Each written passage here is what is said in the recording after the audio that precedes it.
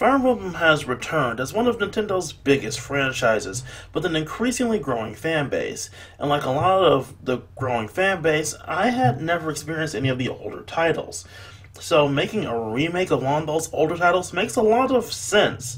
You get to satisfy some curiosity from some older fans, as well as give some newer fans some much needed service. However, the ultimate question is, which game do you do a remake of? I mean, Nintendo did try remaking Shadow Dragon, the very first Fire Emblem game, on the DS, which universal consensus on that thing says it's pretty awful and it just looks ugly if you look at any screenshots or video footage of the game. So, basically, they're thinking, why not just do the second Fire Emblem game, which, like a lot of Nintendo sequels, especially from original franchises, is completely different from the franchise it spawned from. Essentially, Fire Emblem Gaiden is like Mario 2, Zelda 2, and so many other 2s in Nintendo canon. And, well, they remake it and thus create this new generation of it, as dubbed Fire Emblem Echoes Shadows of Valentia. With that said, this game is my first taste of old school Fire Emblem games, and I have to say, I really did enjoy what I played.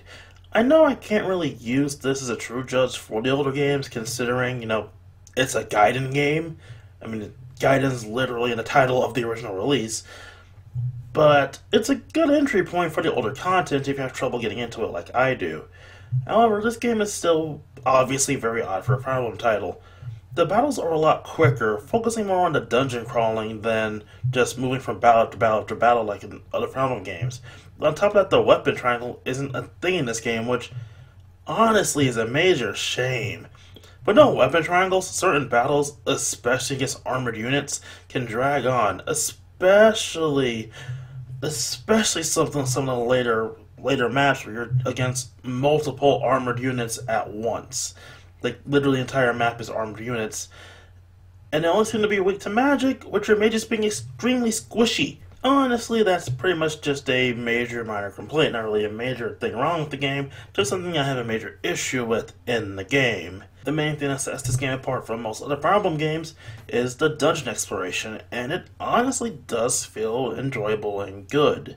You'll come face to face with some enemies leading to some entertainingly very quick battles, and removing and basically removing a new weapon system with weapon skills and stuff like that is entertaining.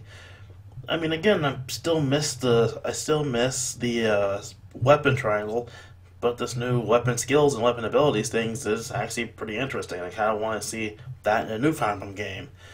And the special moves are actually really fun to witness. I kind of wish they had something like this in the newer games instead of just having class skills. Like, you know, equipping a character with the killing edge can let them use some super killing critical strike attack or something like that. And of course, then there's the story. Now, Emblem Fates had some interesting elements to its tale but honestly, it couldn't make it all work together in one cohesive whole, which is kind of a major shame. But here the story is a lot simpler and works because of it. The characters are great and given a lot of added character from the original incarnations. A lot of them are just, in the original incarnation, just 2D sprites. And hell, they even managed to make a bit of a connection to Awakening for all those worried if it would move too far away from your precious waifu simulator. I'm joking, I love that game myself as well. And before I move on, I just have to say, while I do like the more anime esque art style they use for some of the newer games, well, all the newer games, I honestly I like this more classical art style too. I do want to see them keep using the more anime style for the newer games because it's a visual counterpoint to set the two generations of Fire Emblem apart. But I wouldn't mind a return to this more traditional art style if they just want to use it for one or two games or so. Maybe mix it up every other game. Or try to do a good combination of both, which honestly seems like it'd be hard to do. So yeah, this is honestly a worthy Fire Emblem into the whole lexicon, and I hope that we get more Echoes titles, and this becomes a subheaded version of Fire Emblem that gets remakes of older games, which would be really cool. Maybe they could actually get a remade good version of Shadow Dragon out there, I don't know. Platinum Games. As a studio, they're either one of two things. Either they're firing on all cylinders or putting in so little effort, you barely wonder if they just didn't subcontract a group like Gearbox did with Aliens Colonial Marines.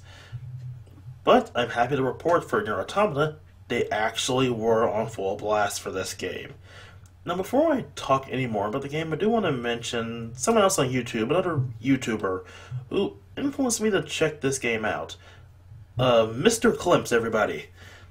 He's gone over most of the works of a Mr. Yoko Taro, the man behind Nier Automata, the Nier games, and Drakengard, which Nier is a spin-off of.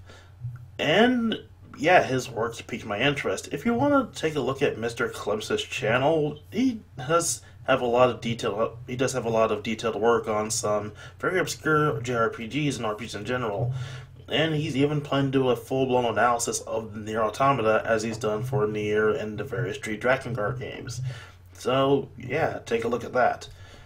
Anyway, enough shilling out someone who helped me pick up a really cool game. Let's talk about the game itself. Let's talk about Yoko Taro for a second. Yoko Taro is a very intriguing person, not just for the fact he goes around wearing his cosplay for press interviews, although I do kind of want to do that. Uh, basically, his work intrigues me in a sort of way that Suda51 games tend to do, well, at least the good Suda51 games tend to do. His games are kind of trying to make a point while telling an interesting story, and often these stories are very, very depressing, and I love them for it. Uh, the kind of thing that made me not previously play Drakengard games, as well as even the original Nier, was I honestly found the gameplay lacking. A story can be intriguing as all hell, but similar to a Nintendo mindset, the gameplay is a bit of a bore, and I'm pretty much going to stay away from it. Uh, there's an old quote, I forget exactly who said it, from someone Nintendo said that uh, you don't really need graphics or you don't really need graphics or story for a game. You just need excellent gameplay, and considering it's a game, they're right. And well, that was was keeping away from the Drakengard games as well as Nier, well, the original Nier, which which technically speaking was better than all three Drakengard games. But then we come to Nier Automata, and I have to say, it's a truly great and fun experience. The plot takes place hundreds of years in the future after the original Nier, which again is a spin-off of Drakengard 1, where aliens have invaded and humanity has fled to the moon. Supposedly. Uh, you can't see, but I'm still doing giant air quotes and uh, just my fingers. Uh, anyway, the humans send androids to combat the alien menace known as the Yo known as the Yorha Project. From there on, we follow the adventures of 2B and 9S as they battle the machine life forms in an attempt to save the Earth for their human masters. With a plot like that, you don't really expect a lot of stuff. It's just a simple video game plot. But very quickly, the plot seems to go in a different directions. Machines start acting a lot more human, and not as the kill crazy monsters that you expect them to be. Basically, the biggest question on the lips of this video game is what makes someone human? What makes life worth living? As well as a bunch of existentialism. And saying anything more than that would just kind of spoilers for the overall thing. Honestly, there are a ton of videos on YouTube trying to explain what exactly the game is trying to say with this message. And while I can get the basics of what I want, the basics of what the game's telling me, I honestly want people to experience this as blind as possible so they can pull their own uh, conclusions from the overall story and what it's telling you. But I'm going to tell you one thing.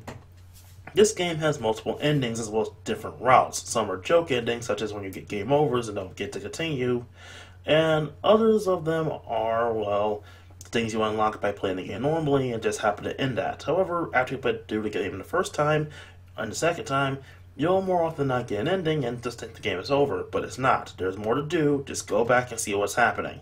There's a new route to, to there's a new route to discover. Just go back and do it. Trust me, you don't want to waste. You don't want to miss out on some of this stuff. It's really great. Outside of story stuff, the gameplay is very Bayonetta-esque, and I freaking love that. There's a lot of quick movements, quick dodging, and basically keeping the pressure on enemies with bullets and with bullets and swords at the same time, and dear God, it's so cool and it's awesome.